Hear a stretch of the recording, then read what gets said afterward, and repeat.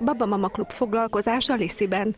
Ez az egyik fórum, ahol közösségi programot találhatnak az oladi lakótelepen élők, illetve bárki a városból. Hét különböző klubot működtet a lakóközösségi információs és szolgáltató iroda. Az önkéntesek klubja például tavaszi nagy takarítást is szervezett az oladi iskolásokkal. Nagyon lelkesek voltak a diákok, közel 90-en vettek részt ezen a hulladékgyűjtő akción, de a szemétszedésen kívül természetesen mást is végeztek.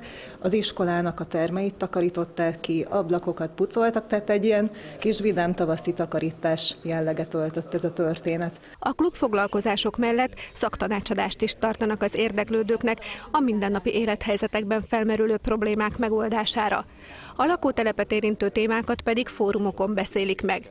Szerveztek már mag és palánta bőrzét is. A pályázat keretében megvalósuló programok legfőbb célja a közösségépítés. Maga ez az iroda itt a, ebben a művelési házban, a művelési központban, ez egy olyan közösségi ter, egy olyan információs centrum, ahol bárki a fogadóránkon, illetve a klubok és egyéb előadások, szaktanácsadások idején olyan segítséghez juthat, ami ingyenes, és azt hiszem páratlan itt a lakótelepen. A projekt keretében létrehoznak majd egy közösségi kertet, és önkormányzati támogatással még idén felújítják a játszóteret a Kodály Zoltán utcai tömbelsőbe. Egy kellemes, nem bekerített, hanem csak zöldelővezett ilyen kis kalandjátszóteret tervezünk megvalósítani, ahol számos új játszóeszköz kerül kihelyezésre, illetve egy játékos, kalandos ösvényen tudnak a gyerekek játszani. A pályázat uniós forrásból valósul meg.